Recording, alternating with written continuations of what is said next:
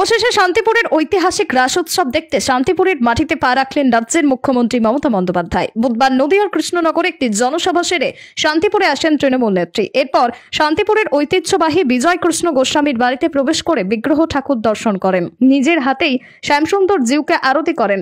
পাশাপাশি ফলের ডালি দিয়ে নতক মস্তকে প্রণাম করেন শ্যামসুন্দর জিউর কাছে। এরপরেই তিনি বিজয় কৃষ্ণ গোস্বামীর বাড়ি ছেড়ে শান্তিপুরের আরও এক ঐতিহ্যবাহী গোস্বামী বাড়ি বড় গোস্বামীর বাড়িতে যান বিগ্রহ দেবতা দর্শন করার জন্য। সেখানেও একইভাবে বিগ্রহ দেবতার কাছে পুজো দেন মুখ্যমন্ত্রী। তবে শান্তিপুরের ঐতিহ্যবাহী রাস উৎসবে মুখ্যমন্ত্রীর প্রবেশ নিয়ে করা নিরাপত্তার চাদরে মুড়ে ফেলা হয় গোটা শান্তিপুরকে। অন্যদিকে আজ শান্তিপুরে রাস উৎসবের দ্বিতীয় দিন, কিন্তু গোটা শান্তিপুরে কড়া নিরাপত্তা থাকার কারণে বহিরাগত দর্শনার্থীরা প্রবেশ করতে পারেনি, কারণ শান্তিপুরের গুরুত্বপূর্ণ রাস্তাগুলিকে নো এন্ট্রি জোন করা হয় প্রশাসনের পক্ষ থেকে। শান্তিপুরে রাস উৎসবে এসে মুখ্যমন্ত্রী মমতা বন্দ্যোপাধ্যায় বলেন, আমি এই সময় নদিয়া জেলাকে বেছে নিয়েছি একমাত্র রাস উৎসব দেখার জন্য। আজকে আমি শান্তিপুরের রাস উৎসব দেখতে পেয়ে খুবই গর্বিত বোধ করছি।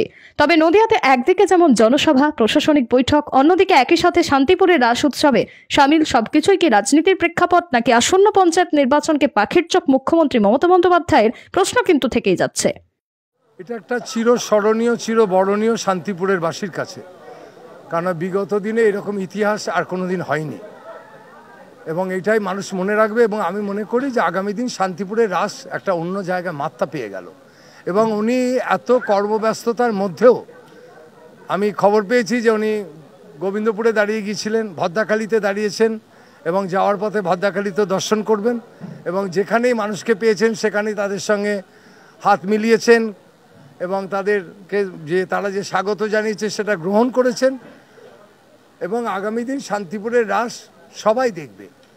যেমন আপনারা শুনছেন যে কলকাতার কার্নিভাল একটা বিশেষভাবে তার পর্যালোচনা চলছে। আগামী দিন যা হয়ে গেল, আমি মনে করি যে আগামী দিন শান্তিপুরের রাসে যে মানুষের ঢল হবে আমাদের পক্ষে তা রক্ষা করা সম- অসম্ভব হয়ে যাবে?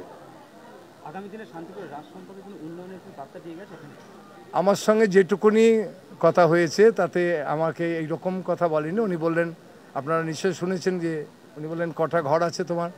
আমি বললাম ছত্রিশটা ঘর। বললেন এত বড় বাড়ি আমি এখানে থাকব।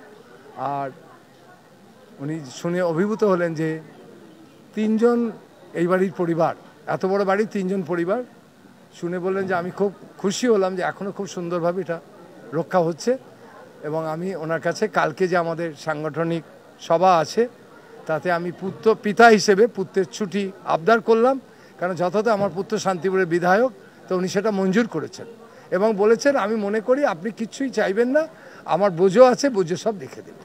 সময় প্রায় দশ মিনিট বেশি।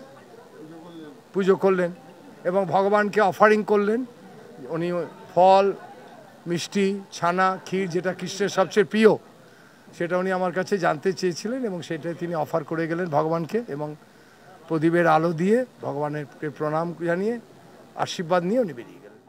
Balaji mobile plaza, Kanchrapara station road, KGR পথ, একেবারে গান্ধী মোড়ের কাছে, কাঁচরাপাড়া, উত্তর চব্বিশ পরগনা। মোবাইল ফোনে যোগাযোগ seven double zero three seven double six three two nine এবং eight five eight four nine one double seven two four. Balaji mobile প্লাজাতে পাবেন Samsung Nokia Oppo Vivo Redmi Realme এবং রিলায়েন্স জিও ইত্যাদি ব্র্যান্ডেড মোবাইল ফোন এছাড়া মোবাইলের যাবতীয় accessories Balaji mobile plaza Balaji mobile plaza Balaji mobile plaza.